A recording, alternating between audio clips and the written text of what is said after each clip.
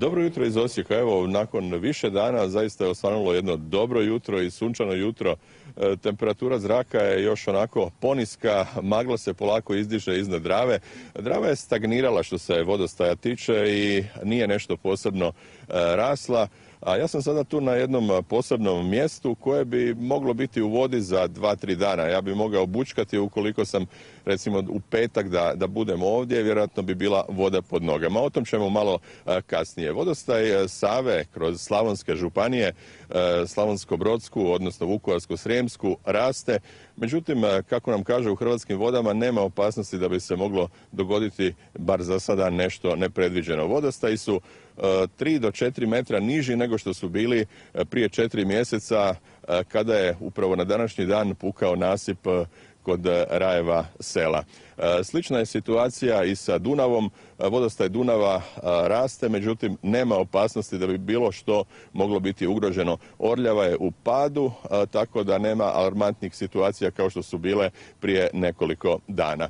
A kad je riječ o Požegi, vrlo interesantna jedna donacija, kako bi se to reklo narodski, špaj servisa dogodila se i dogodit će se ovih dana. Naime, tko je organizirao ovu jednu posebnu donaciju, vrlo interesantnu, muzej u Požegi i on je kontaktirao sa većinom muzeja u Hrvatskoj koji su se također priključili u sakupljanju posuđa za kuhinju. Kada ga sakupe, odveše ga krajem tjedna u Gunju jer je već jedan dio kuća obnovljen i treba ih opremiti. E sada ova priča sa početka neću duljiti. Nalazim se na lijevoj obali Drave.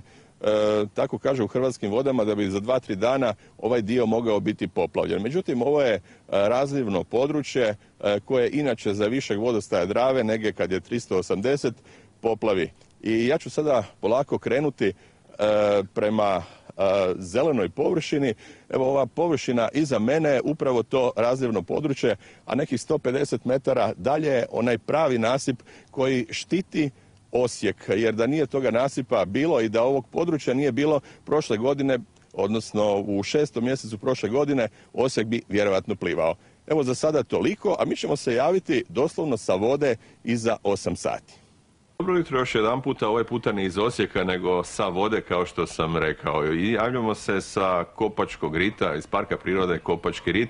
Ovdje je prilično visoka voda, a ovo područje je posebno interesantno ne samo ljubiteljima prirode, ovaj puta interesantno je zbog toga što je to jedno područje od 15.000 hektara eh, koje prima velike količine Dunava. E, evo da bismo nešto više saznali o tome je li ovo sada zaista visok vodostaj ili ne, reći će nam ravnatelj e, Parka prirode e, gospodin Damir Opačić. Gospodine Opačić, je li ovo sada visok vodostaj u Parku prirode? Da, ovo je sada visok vodostaj i neobičajno visok za ovo doba godine, za jesen, dakle uobičajeno je u proljetnim mjesecima, iako se događa da imamo jesensku, nekad i zimsku vodu u ovom nivou.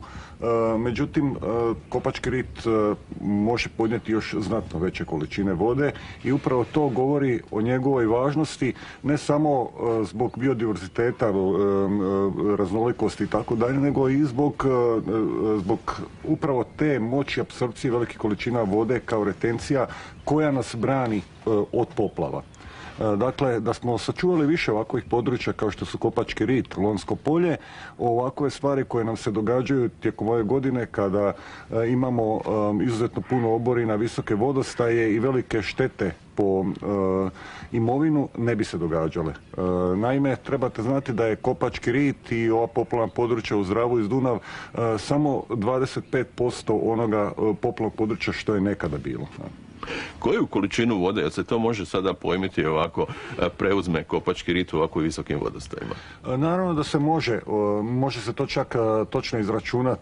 Jednostavno uzme se stupac vode koji je, pomnoži se sa 15.000 hektara koliko je poplavno područje Kopačkog rita i može se dobiti točna količina vode. To su, to su enormne količine vode, jer na svu sreću u Kopačkom ritu nasip nije odmah uz tok rijeke kao što, kao što u većini slučajeva uz Dunav u drugim europskim zemljama. I još na kraju moramo postaviti pitanje je li ova godina bila dobra turistička godina bez obzira na loše vrijeme? Hidrološki je bila dobra, znači imali smo a, kroz cijelu godinu dosta visok vodostaj, naše brodice su mogle ploviti. Nažalost, je ono kako a, često čujem tu izrečicu, nikad ljepše jeseni nego ovoga ljeta. A, Malo nas je vrijeme, malo nam je pokvarilo, ali bez obzira na to godina je bila dobra, sedmi mjesec je bio nešto lošiji, ali to je svuda tako, što zbog vremena, što zbog svjetskog prvenstva, ali možemo biti zadovoljni s ovom godinom i s najavama za kraj godine, za ovaj drugi dio sezone 9. i 10. mjesec. Evo, zahvaljujem e, gospodinu Opočiću.